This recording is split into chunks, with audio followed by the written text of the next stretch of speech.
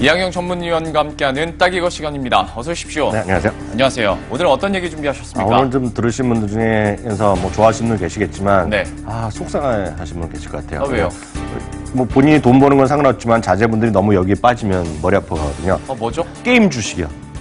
게임 주식을 얘기 한번 아, 해보도록 게임주? 네네. 아, 근데 이제 자제분들이 게임을 너무 열심히 해서 가슴 아픈 건 가슴 아픈 건데 네. 그래도 그 가슴 아픈 거 한편에 네. 그만큼 게임이 잘 나간다는 거 아니에요? 그러니까요. 가슴 아픈 만큼 주식을 샀으면 되는데 주식을 안. 사고 기분만 나빠하니까 예. 이게 머리 아픈데요.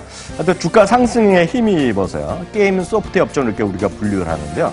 올해 시가총액이요. 저는 이거 보고 깜짝 놀랐습니다. 작년에 13조 원 수준이었는데요. 지난 주말 기준으로 보니까요. 거의 40조 원으로. 세배가 시가총액이 세배가 됐는데요. 예. 이걸 하나만 보면 서- 설득력이 별로 없잖아요. 조선업종이요. 24조 4천억 원. 건설업종이 24조 8천억 원입니다. 그리고 기계업종이 18조 원이니까요. 그만큼 뭔지 모르겠으나 판단은 각자 하셔야 되겠는데요. 예. 게임 업종이 엄청 비싸졌다라는 것만큼은 먼저 좀 말씀드리고 시작하면 좋겠습니다. 우리들의 돈이 이 게임 업종에 어마어마하게 투입됐다라고 보면 네, 될것 네. 같은데 네. 특히 좀 더 수혜를 받아간 업종별뿐만이 아니라 네. 종목별로는 어떤가요 상황이? 그러니까 종목별 하기 전에 업종별로 좀 보겠는데 시가총액이 얼마만큼 늘어났냐 제가 다시 한번 보면 네. 게임 소프트웨어가 199%가 늘어났고 올해 오른 겁니다. 디스플레이가 13% 올라갔고요. 건설은 2.3% 내려갔고 조선은 25% 워낙 바닥이니까 올라갔고 기계업체는 3.6%니까요. 그만큼 아, 시가총이 이렇게 크게 늘어났고 음. 업종이 이렇게 많이 시가총이 늘어났는데요. 종목별로 일단 다시 바로 보면 펄어비스 정도는 많이 앞서도 네. 그 다들 시가 그 상장한 지 얼마 안 됐으니까 아시던데요. 사- 84% 올라갔고요. 넷마블 게임도 올해 상장됐는데 상장도 비싸게 됐지만 20% 올라갔고요. NC소프트가 엄청나게 올라갔죠. 이거는 뭐 아들도 있지만 아들보다는 남편분이 돈을 쓴 거잖아요. 네, 맞아요. NC 본인도 쓰셨고요. NC소프트가 84% 올라갔고요. 컴투스도 50%, 웹젠도 87%는 올라갔습니다. 그러니까 가장 많은 게 이제 또 NC소프트 탑에 있잖아요. 네네. 그러면서 이제 리니지 M 얘기하신 것 같은데 네네. 생각해보면 리니지가 처음 나왔을 때가 저 초등학교 때였나? 20년 전입니다. 근데 이게 아직까지도 이렇게 돈을 벌고 있는 거잖아요. 그러니까 네. 한번 대박 나면 계속 수익성이 이어진다는 게 또 게임업계 매력 아니겠습니까? 그게 매력이죠. 그 매력이면서 누구나 꿈꾸는 거 아닌가 싶습니다. 마이크로소프트가 기본 OS를 팔잖아요. 근데 사실 이거 예전에 저 어렸을 때만 하더라도 어, CD 값이라도 바- 번다 그랬는데 어, 남들 예. 요즘은 CD도 아니라 대부분이 다운로드 받아서 설치하잖아요. 네. 그러니까 그 CD조차도 안 들어가는 거거든요. 그렇죠. 러니까 이거는 그 영업률이 엄청 놀- 놀- 높을 수밖에 없고요. 영화도 마찬가지고요.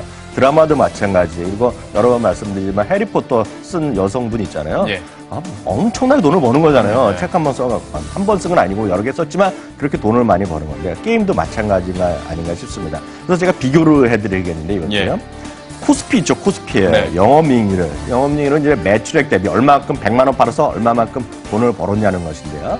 게임 업종이 게임 업종이요. 올해 들어서 상당히 지금 그 영업이익이 높아지고 있는데 전체적인 코스피 영업이익률은 8.55%가 났습니다. 네. 전체 코스피가요. 그나마 올해는 7.80%보다 늘어났는데 이것도 삼성전자를 제외하고는 6.79%밖에 안 되거든요. 네. 게임 업종 중에 NC소프트는 무려 45%. 45%. 그러니까 네. 100만 원 팔아서 45만 원 버는 거가 되겠고요. 예. 펄어비스는 더 벌었죠. 54.7%. 엄, 엄청난 영업률. 정말 부러울 수밖에 없는 그런 사업체다. 이렇게 이해하시면 되겠습니다. 코스피 지수와 게임 업종을 비교할 때도 그렇고 근데 게임 업종에서 더 들여다봤더니 엄청 많이 오르는 거잖아요. 아, 그럼요. 그럼요. 예. 비결이 어디서 나오는 겁니까? 아, 몇 가지 있겠는데요. 요즘 보면 게임 한류 얘기가 여기저기서 나오거든요. 네. 그러니까 그런 것들이 분명히 있겠고요. 중국을 중심으로 해외 게임 시장이 급속하게 커지고 있고요. 아, 예를 들어 중국 연평균 20%까지 커진다고 합니다. 그리고 최근 들어서는 한중 관계 개선 기대감으로 저, 저 펜센트나 이런 데서 투자하지 않겠느냐. 아. 상권을 갖고 가야지 않겠느냐. 배틀그라운드도 뭐 요즘 그런 거 아닙니까? 네. 막 그런 얘기가 똑같은 얘기 나고요. 있고요. 실제 해외 매출도 늘어나고 있습니다. 엔츠소프트의 그 리니지 M 있지 않습니까? 얘기하셨던 예. 12월 11일 날 대만에서 이제 정식 서비스 시작하는데요. 제가 뉴스 찾아봤더니 현지의 사전 예약자가 250만 명. 네. 그러니까 대만이 몇 명에 사는지 좀 모르겠는데 상당히 많이 하여튼 예. 한것 같아요. 어, 펄어비스의 온라인 게임 그 검은 사막 있지 않습니까? 북미, 유럽, 일본, 러시아 등에서 인기인데요. 매출 75%가 해외. 그러니까 약간 다른 거죠. NC소프트는 대부분이 한국인데 네. 아, 그런 어, 펄어비스 같은 건 해외에서 75%고 여기다가 이제 모바일 버전도 내년 나온다고는 하거든요. 그러니까 이런 기대감이 큰 거죠. 이 정도면 증권가에서도 이거 나쁘게 볼래야 볼 수가 없을 것 같은데요. 그렇죠. 리니지 M이란 것이 결국은 리니지가 온라인, 인- 어, 어, PC 수준에서 하는 것이 스마트폰으로 들어온 거 아닙니까? 그러니까 스마트폰의 성능이 향상되면서 대규모 MMORPG 게임이 늘어난 거죠. 이거는 여성분들도 게임을 안 하신 분들도 딱 지하철 타시면 아시잖아요. 젊은 분들 보면 그냥 돌리고 있지 않습니까? 네, 네. 보는 분도 많고요. 예. 그런 것들이 여기서 뭔가 돈을 낸 분들이 많은 거가 되겠고요. 그러면서 NH투자증권 전망은 내년에 국내 모바일 게임 사업이 32% 성장할 거란 얘기를 하고 있습니다. 게임 업계에 대해서 뭐 증권가에서도 좋은 시각을 내놓고 있는데 저는 위원님의 생각이 궁금해요. 네. 그리고 얘기를 한 것처럼 장점이 한번 대박이 터지면 수익률이 계속 간다는 거겠지만 네. 반대로 생각했을 때 대박이 안 터지면 이것도 폭망하는 거 아닙니까? 그렇죠. 다만 이제 게임을 하는 많이 하는 자식을 둔 부모 입장은 딱 저 같은 경우거든요. 예. 저희 아들이 이제 대학교 뭐 다니고 있는데 F도 막 받고 그랬어요. 이게 예. 게임에 갖고 진짜. 아, 아, 이제 딱 이걸 게임에서 또한 아 거거든요. 진짜요? 어 진짜로요. 그래갖고 저는 좀 오버워치 이런 거 딱 싫어하죠. 네네. 오버워치 때문에 그 아, 실제로 F- 가슴 아픈 분이 여기 계셔. 아 실제로 맞아요. 네. 뭐 저는 그냥 대학생이니까 안 돼요. 중고등학생 보면 더 머리 아플 수밖에 없겠는데 유의점이 있습니다. 전 세계요 모바일 게임 수가 지금 몇 개냐면 제가 답을 써놨는데 물어보려고 했는데 80만 개다. 80만 개.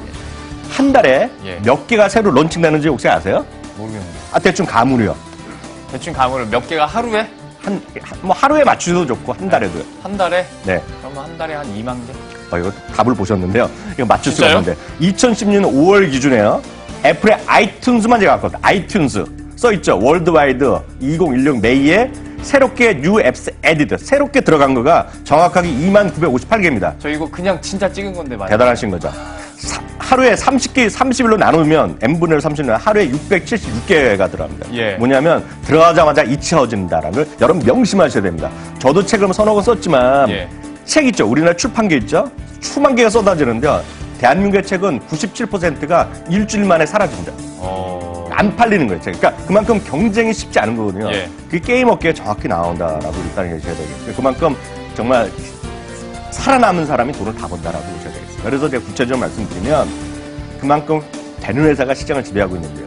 전 세계 게임 시장 매출은 상위 10%가 독식을 하고 있습니다. 음. 그렇기 때문에 경쟁을 하고 지하철마다 TV마다 케이블 TV마다 모바일 게임 광고를 그렇게 많이 하는 거가 되겠고요. 유명 배우들, 예. 전 세계적으로 유명한 배우들 나오는 거가 엄청난 돈을 쓰고 광고비를 쓰는 거라고 되겠고요. 그것은 엄청난 경쟁 자본 투여가 필요하겠고요.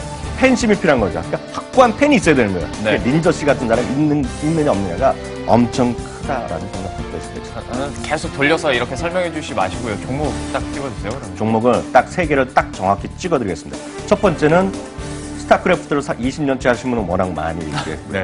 아까 말씀드렸다시피 오버워치 하시면 많이 있단 말이죠. 액티비전 블리자드가 전 세계 탑입니다, 지금요. 근데 오늘 이제 다 떨어졌는데 이건 네. 어저께 그래프인데요. 이거 좀 보셔야 되겠고요. 한국에선 누가 뭐래도 NC소프트입니다, NC소프트요.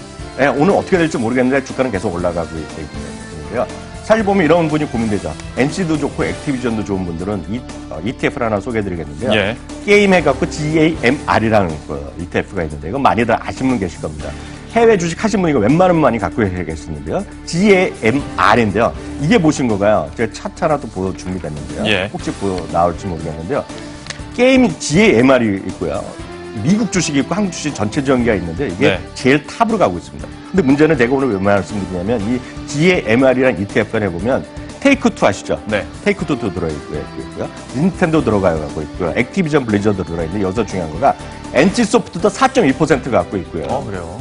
여러분들 좋아하시는 넥슨 있죠? 네. 우리나라에 있는 넥슨 이거 말고 네. 오리지널 넥슨 있죠? 도쿄 상장돼 있는 거. 네. 그게 5.1%로 두 번째 많이 갖고 있는 주식이거든요. 저는 게임하는 분들하고 부모를 만나보면 저는 제 주위에 보면 학생 자제분 때문에 고생하는 사람 많거든요. 머리 아파하는 분은 전부 다 이거 사랑하는 거죠.